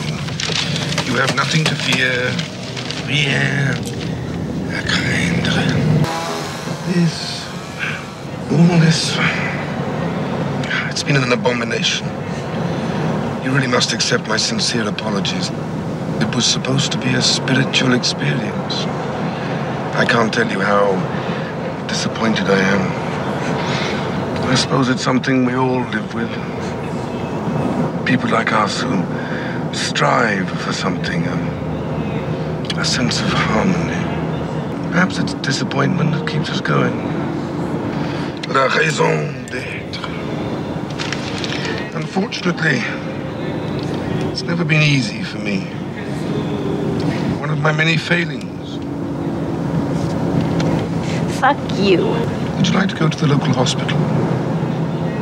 Or to a police station? So, all right. So it's it's supposed to it was supposed to give them a religious type of experience or something to be that scared. Whatever. Um, Renee Zellweger ends up in a hospital. Um, and uh, a cop's trying to talk to her. Uh, this lady and Renee Zellweger, uh, she comes by in a gurney and they make eye contact. I don't exactly That, that was get it. that was Marilyn Burns from the original, my man. Oh, was it? Yes. Oh, I didn't even know. Yeah, that's I I mean it's, you know, it wasn't super obvious, but like it it's Marilyn Burns. Yeah. Oh, okay. Well, there's a callback, and then it's uh, okay, and then roll credits.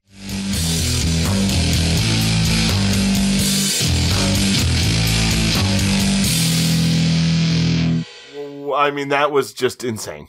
I mean, not in a good way. That was just that was just entirely too weird. Your assessment of the kind of ramblings of a meth head being Yeah. the, the way that this was written are not exactly wrong. Yeah, it's that same kind of weird frenetic, but it just keeps going down a rabbit hole of shadow people and the Illuminati and you know, the idea that uh, you are being tortured to have some kind of transcendental experience. I feel like they were trying to do some kind of like higher minded meta thing with the film, but it got chopped up and destroyed so much that that whole idea that like we as an audience are watching this to, you know, have a transcendental experience with the horror to where we have a spiritual connection with what happens. Like that's what horror is supposed to do. It's supposed to scare you to the point where it illuminates you and makes you feel something and sometimes may even teach you a lesson or or give you some kind of uh, a feeling of an appreciation for your life or you know just make you glad that you're allowed to be alive still just because you're a little bit scared. It's a safe scare, you know, that kind of thing. Like yeah. maybe that's the commentary Henkel was trying to do by doing all of this. Like I can see some elements of where maybe they were like doing some higher minded thinking with putting this script together and trying to do the story the way that they're doing. But it is so, especially in this theatrical cut that we watched, so horrifically butchered and so just all over the place and sporadic and somewhat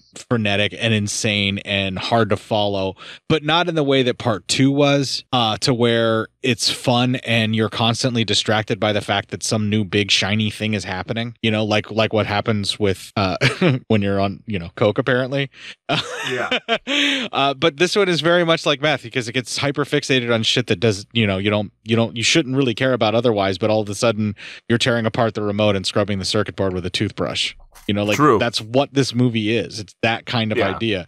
And it hyper fixates on things that you really shouldn't care about at all. Like all of a sudden, the idea that this whole Illuminati project is this ongoing thing, and they want to expand this out so that it's not just a Texas Chainsaw Massacre, but this sort of thing happens everywhere all around the world. Um, this was done like really masterfully in the original Martyrs. That idea. Um, Yeah. rather well, actually. You know, like to, this transcendental experience where you are tortured to the point where you achieve almost like a Saint Euphoria style, like, um, you know, vision of the other world. Like that's what they're trying to achieve. Like that's kind of what they're doing here or hinting at, but they are failing miserably and missing the mark and ham fistedly throwing ideas at the wall and hoping stuff sticks. And it's literally monkeys trying to type Hamlet, and this is what we got instead. Like this. Yeah. It's just such a fucking mess. It's so disappointing. It's so fucking hard to watch. And the parts that are actually uncomfortable are more or less you just feel uncomfortable for the actors being forced to do this horse shit and degrade themselves like this to try and make the film feel intense and scary. And the end result is just a bad Scooby Doo episode that you kind of want to just shut off. Yeah, that's that's very true.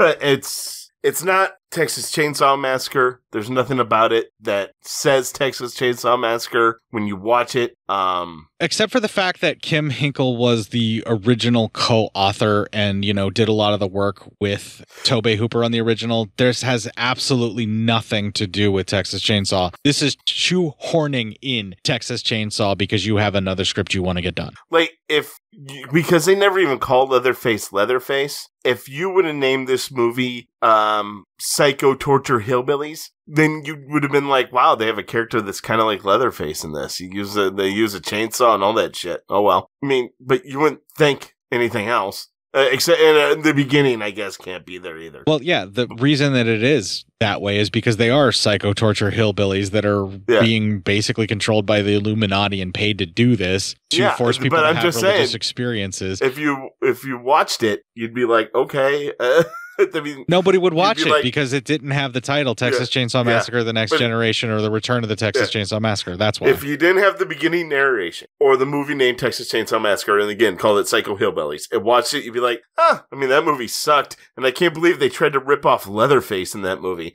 That's amazing.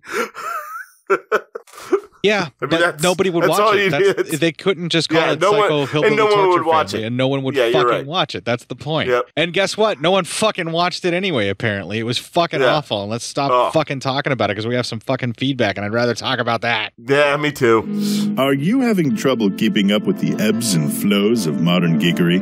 Is the real world holding you back from knowing what is happening in the geeky world? To answer these and other personal problems brought in by your friends, gaming group, and loved ones, Geek Radio Daily presents daily informational sessions brought to you by the wonderful Billy Flynn, the Flynnstress, and podcasting's Rich Sigfred. They contain such helpful segments as history, geek birthdays, box office results, the latest in DVD and Blu ray, video game, and comic releases. Why, they also have a Sweekly show hosted by the wonderful Billy Flynn and the Flynnstress, which includes interviews and commentary. And to make sure you are informed, Geek Radio Daily also provides you with your daily dose of geek news to make sure you know more than that jerk know it all Steve. Visit us at geekradiodaily.com. That's right, Geek Radio Daily. All the geek without the weight. Now available in fine Corinthian leather.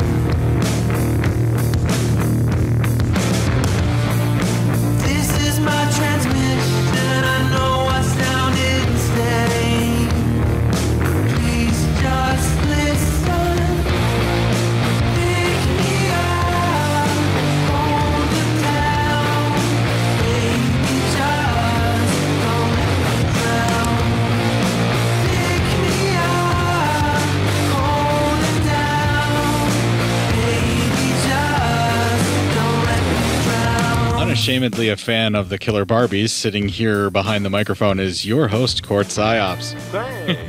they wrote Why a song called They wrote a song called ashamed. Chainsaw Times, so I had to put it in here. Of course.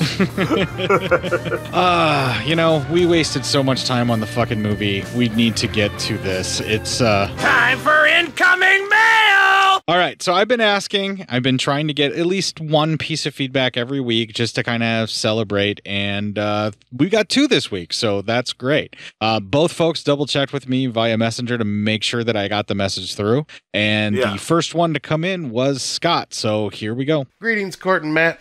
This is Smoke Show here. Just wanted to send you guys a congratulatory message for hitting five years and a little over 300 episodes now.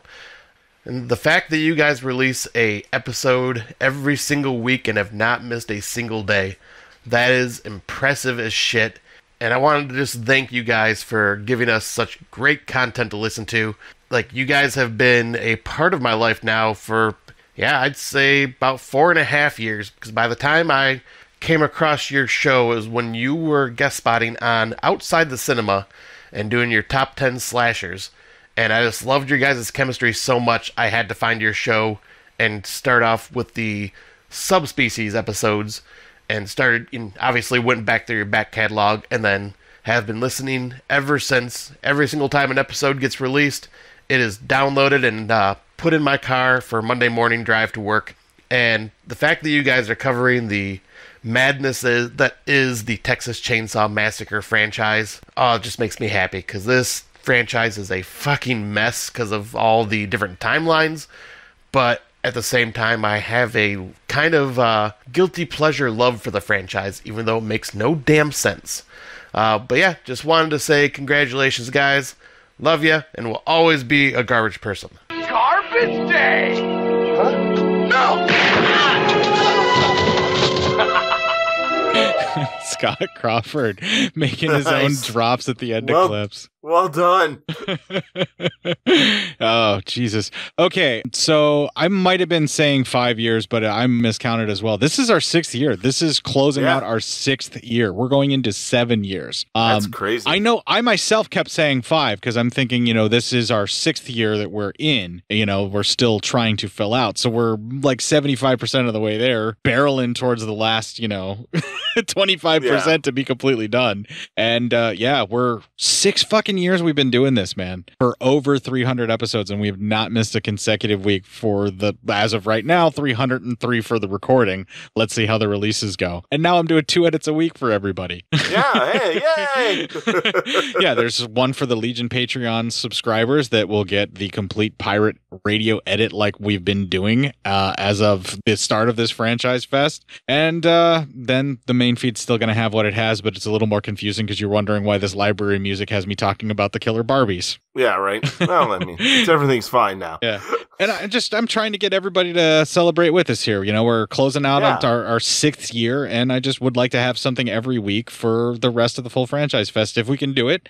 Um, as long as we can keep the trend going, let's do it. Now, I'm not saving the messages as they come in. I'm playing them, so Yeah. I'm hoping that we can get this going without repeats. I think that would be kind of a fun way to celebrate. You know. I think so. And our fans can, you know, get back to us and our fellow podcasters can kind of support us. And that would be kind of awesome. Speaking of that, uh, Dan from Corrupted Youth. Now, this is interesting. Um, he messaged me and said something about um, making sure that a message got through for the 300 episodes. Um, Okay. I, I don't know when this was recorded, but apparently Dan's podcast has an intern. I want to know how I get an intern. But yeah, he was. Yeah. I asked him about it, and I guess there's some kid that um, his son goes to school with that is doing something in audio production and needs to get some hours. So Dan somehow now has a fucking intern. That's fucking amazing. Yeah. And the intern actually is the one who sent me the message. So, like I like to do here, whenever I get a message, I read the email as well, just because I'm really trying to pad out any celebration of me that I can. Because Of course. I need You external. love me. You love you some you. Yeah, I need some external validation, and being told how awesome I am makes me feel better about myself because I really don't like myself much. So, yeah. I mean, we got to do something for ourselves because we are just fucking messes over here. Okay, so here's the message. Uh, happy belated 300th. High Court, Dan and Brennan's new intern here. I recorded the Dongle's 300th episode feedback for your program. Please see the attached file. Hang in there. Uh, I won't say the intern's name, but uh, yeah, official corrupted youth intern Moby. I'll, I can say the first name. Moby is the Oh, first name. there you go. So they got Moby as their intern. Wow, they, they must really be moving Oh, up really? in the podcasting world. Moby? yeah, go Guess figure. Techno didn't pan out for him. Maybe not, but here's the message from Dan and Brennan from Corrupted Youth via uh, Moby. So I don't know, man. Like he's been posting all this stuff on Facebook about I don't know. He looks like seems really desperate for feedback. I kind of feel bad. Yeah, it's like he's like really wanting, you know, just everyone to come on and say, "Oh, happy, you know, 300th episode." You know, it's like, okay, buddy, like calm down. Okay, so what? Some people missed it. Like how much? He got some responses. Like, oh, geez, he needs more. Like we all know, like we might, we all congratulate you, but like we really need like all like make this whole big deal or record something. I know. And then he's like trying to pimp out Matt on stuff too. And uh, I don't know. It's, it's it kind of makes me feel uncomfortable. Yeah, it's a little weird. Yeah, it's an awesome show and all, but ah, jeez. Like, have we gotten any recording messages for any of our miles? Oh, I mean, grant we haven't really hit any, but I know. I mean, like, yeah, that 50th coming up. I don't expect anybody to send anything for that. I No. Just feels kind of desperate. You know what I mean? Yeah. I mean, geez, you know, like we went, we did all these like huge production numbers for the 100th and 200th episodes. And and now here we are, 300th. yeah, I don't know. What more can we say? I mean, I got nothing. Congrats. Yeah. I mean, oh, oh, hey. Oh, hey. Oh, hey. Um, um, yeah. So, uh, we're, we're recording now. Oh, okay. Happy 300th episode, guys. Yeah, Cinema Psyops 300 episodes. That's Yeah. pretty cool. Yeah. Yeah. Yeah, it's Dan and Brennan from Corrupted Youth Podcast. We're really happy. We have free will and we have chosen to do this Yeah. our love. Yeah, sorry we didn't get to you earlier, but you know, like, oh, life gets in the way sometimes and Mm-hmm. our bad, but hey, we figured better late than never, right, Bren? That's right. Okay, yeah, so way to go, guys. Um, also, by the way, Brennan did some research, didn't you, Bren? Mm-hmm. I did. Yeah, and uh, he has all of your actual real names and everything. So um, we're gonna hold him ransom. Yeah. Otherwise, we'll dox you unless you do another 300 episodes. Yeah, you're gonna get a lot of extra large cheese pizzas ordered to your house, and you'll have to pay for them all. You know what? We know you guys can't eat that many pizzas. Mm-hmm. Like you can make it through like probably half, Mm-hmm. Sure. but then what are you gonna do with the rest? Yeah, It's gonna you're stink up your fridge.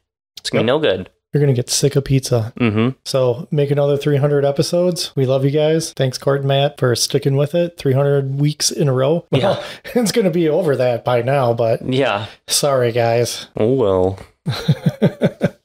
Is that it? Is that all we gotta do? Yeah, I think that's that. They'd probably laugh at that. You think they're gonna they're gonna be okay with it? What are they gonna do if they don't Yeah, like it? yeah, yeah. Fuck them. Hey, Uh, I don't think they know they were recording there, Court. yeah, um, apparently their intern uh sucks. So Oh, damn. yeah, Fuck. So this Moby. is this is why Maybe Moby was concentrating too much on emo fucking techno music and didn't fucking realize he should have been not recording there. Yeah, either that or he was filing yet another injunction against threats of violence for uh, Eminem and all the stuff that he says that Obi's going to do to him on his behalf. Yeah, right? Jesus. Oh, that's a deep fucking reference for nothing that no one fucking cares about. Let's just end this piece of shit fucking show. But before I do, uh, Scott Smoke Show, uh, he is part of the Friday Nightmares podcast, and I know there's a gaming one that they do as well. I can't remember the name of that, Scott, and I am so fucking sorry. But if you send us something else in, you can say the name of it. That's totally fine. Or just send, just message me, PM me right now as you're listening to this in your drive to work, and say, Court, you fuck up. You forgot such and such. That's the show that you forgot the name of. And I'll say it on the air next week so that you'll get that name out there too. How about that? And of course, Dan and Brennan and uh, their really shitty intern uh, from yeah, fucking Moby. from Corrupted Youth. Thank you very much, guys. And ouch. Yeah, thank you, everyone. Ouch very much as well that I'm begging for. I'm sorry, I need a lot of external validation, and I feel like finishing six years of podcasting nonstop, new episodes every week, is probably something that I shouldn't, you know, be shamed for doing, I guess. But Yeah, I, I don't know, man. That seemed, uh, yeah, they're they're kind of like, hey, what the fuck? That's fucking You know, hurtful. There's Real yeah, there's no reason to say shit like that. You know, if I didn't like Dan's new podcast he's doing with his spouse, which I think is called One Two Ghost Show, I believe is the name of it. If I didn't like that so much, I probably would have been super pissed about what they just pulled there. Yeah, but fuck it. They seem like nice enough characters. Am I feigning enough outrage yet? That was really funny. yeah, no, no, I think it's fine. Hey, do you think our intern's still recording this? we don't actually have an intern, and I'm not faking it just for you to make a dumb joke. And it is I- One Two Ghost Show, so let's just end this fucking horseshit show. All right, let's get the fuck out of here. If you enjoyed this show, then make sure you check out the other great shows on the Legion Podcast Network, like Cinema Psyops, Cinema Beef, Devour the Podcast, Duncan and Bo Come Correct, Exploding Heads Horror Movie Podcast, Friday the 13th, Get Slayed, The Helming Power Hour, Hello, This is the Doom Show, Hero Hero Ghost Show, Kill the Cast, Underwater Kaiju from Outer Space, Jerry Hates Action, Legion After Dark, Mental Health, Obsessive Cinema, Discourse, Pick Six Movies, the podcast by The Cemetery, the podcast on Haunted Hill, the Psychosemantic podcast, Rick Radio, House of Wax, Dude Looks Like the 80s, Rabbit and Red Radio, The Shadecast, Short Bus Cinema, Two Drink Minimum Commentaries, The VD Clinic, Who Will Survive Horror Podcast, and Which versus the Doomsday Clock. With such a wide spread of shows, there is guaranteed to be a niche for you to fall in love with. Horror, politics, movies, books, sex, music, commentaries, health, video games, kaiju, action, news, comedy, and opinions that would most likely get you killed in some parts of the world.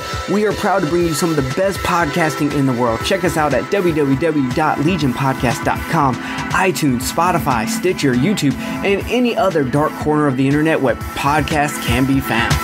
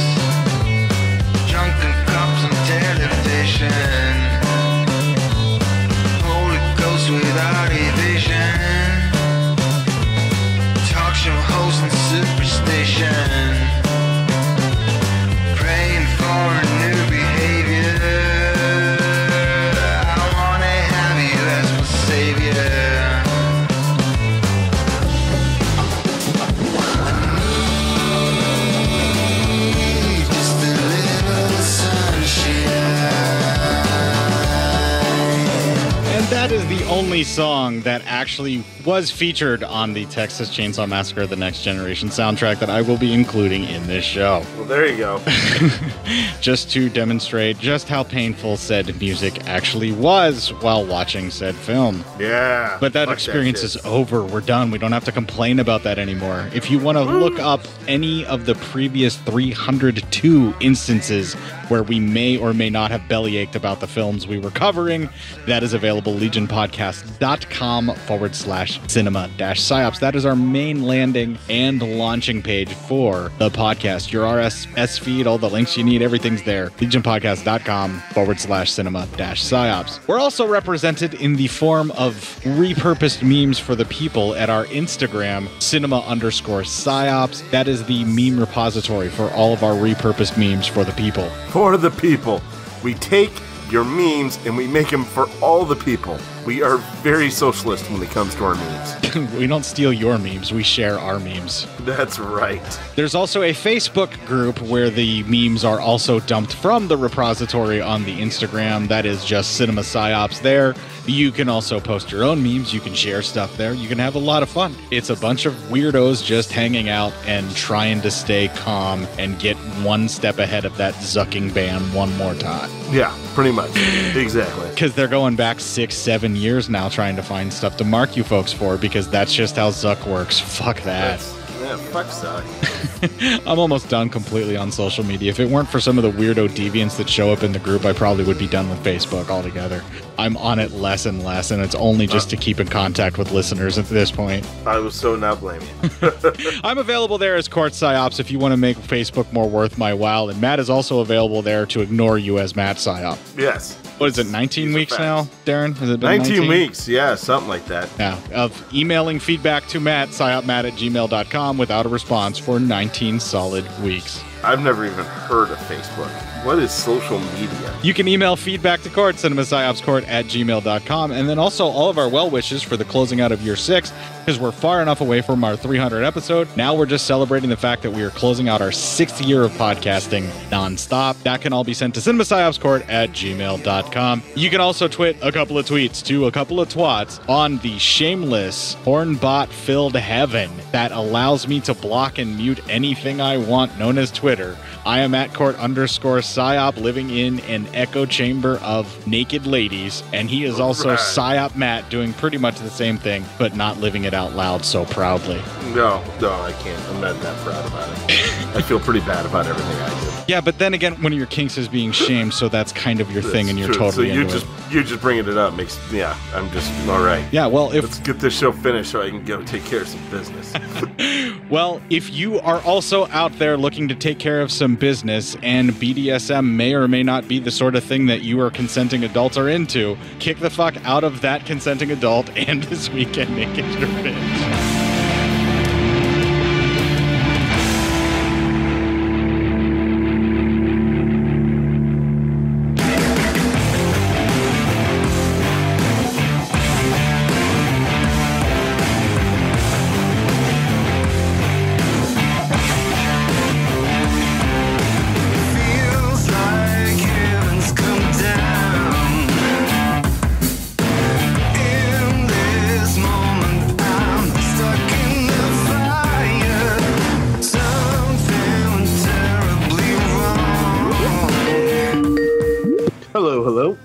Recording so we can get this over with as quickly as possible. it is now recording. One, two, three. On the plus side, we have two pieces of feedback, so begging Oh, and begging and begging has, you know, paid off at least a little bit. Um, trying to, I'm trying to get at least one piece of feedback for every episode for at least the TCM ones. Let it be known, begging has worked. Yeah, it's the only reason you have a kid. Well, that and Jägermeister. Pretty much, yeah. That and, and alcohol, but yeah, you're you're not wrong. It's Jägermeister specifically, though, wasn't it? yes, yes, yes. It was specifically Jägermeister and um, martinis. As gross as that combo sounds, and it does to me every day now.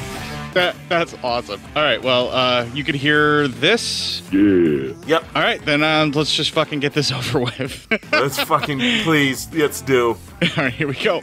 They get prostate cancer. He should know his dad is a uh, doctor. Okay, so, am I to believe that you have never lied your way into having sex with a woman or anyone? No, no. You have never knowingly deceived someone about the terrible pain that will happen to you if you don't have sex with them immediately. No, never. Why are you saying no like this is such a horrible thing to do? Like It's, what, it's a fucking horrible thing to do. what's what's so bad about that? What makes you such a bad person for knowingly deceiving someone? Right. Okay. I- I, just You got saying it now? saying it out that way, now I, I see what's wrong with some of the decisions that you may have done before in your life, Matt. What? Wait, what? I said no. what did you do? I have been advised by my attorneys not to answer that question. And how many fucking attorneys do you have? Enough to where it's plural, bitch. That's a lot of fucking attorneys. Yeah, I mean, he's a horrible, horrible, horrible piece of shit, obviously. But I would Yeah. also like to make an egregious counterpoint here, playing devil's advocate to outrage you and prolong the show because I have nothing else to talk about. All right, but you're not actually gonna play devil's advocate. You're just gonna say you're playing devil's advocate, right? Right, right here is where I ordinarily would do such a thing to prolong And the now- episode, but I give so little of a fuck about this movie, I'm not even doing that. I'm just going to prolong it by telling you the format of the show that I normally use. And this is the the part where I am now outraged by your devil's advocate, and I cannot believe you were raised in like a, a proper home, and I believe you need help, and maybe you should go outside and throw the ball around a little bit. Okay, Right. Move on. Right. And then I make some kind of weird declarative statement that makes me sound even more like a serial killer, but scares you just enough to backtrack what you just said. Yeah. Wow. Okay, and that is a little bit scary, so we should go ahead and get back to the note. Yeah, why don't we? All right. Fuck. That's that's the most mailed in we've ever gotten. That's great. Uh, so Renee Zellweger, uh, Barry, and by the way, I never even learned her name. I just call her Renee Zellweger. I don't even do that for Matthew McConaughey. I learned his name. Renee Zellweger, I just call her Renee Zellweger throughout this whole fucking thing. I could call her Squinty Eye McGee, I guess, but I won't do that. Um, I believe narcissistic squint would probably work better for her. narcissistic squint. It's like it's always fucking sunny wherever she is. Get a pair of sunglasses. God damn. That narcissistic squint routine, um, that line I stole from Tracey Ullman. Remember when she came back for a little while and did an HBO special? That was one That's of her right. things. She did the Oh, narcissistic squint. Yeah. fucking great. You are just encouraging them to break Yeah. windows in order to see your breasts. Yeah, pretty much. I mean, I know a teenage Matt would have totally done that. No, no, I wouldn't. I, I, I, I, you know, believe it or not, I was actually a pretty good kid. I didn't go around like breaking other people's property and shit. I just didn't. Yeah, but if it made meant Now, you got now, to see now, what I would have done, what I would have done, what I would have done is I would have heard someone else plan to do it, and then I would have drove behind them, and when they did it, I still would have gotten the peak without committing the felony. See, Just because you're in a modern day different problems car- require modern day solutions. Just because you're in a different car does not mean that you're not traveling with them and culpable. I was just I was just out for a drive and I got behind these people and they did this and I was like, oh my god, why would they do that? And then, oh, boobs. But I didn't know that they were gonna do that. If only you were actually that smart to plan that kind of stuff out. Yeah, I mean ahead of time, yeah, that would be great. I was an idiot when I was a kid. I got away with so much shit that if I were to have gotten caught, I'd probably still be locked up. I'll just put it that way.